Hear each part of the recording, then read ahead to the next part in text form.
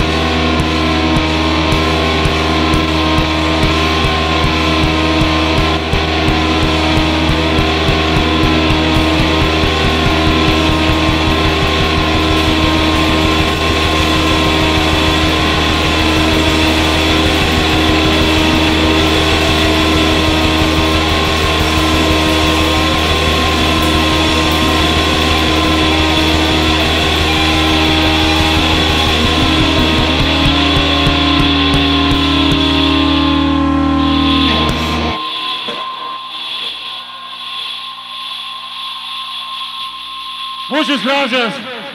Buenos días. Es muy difícil describirlo.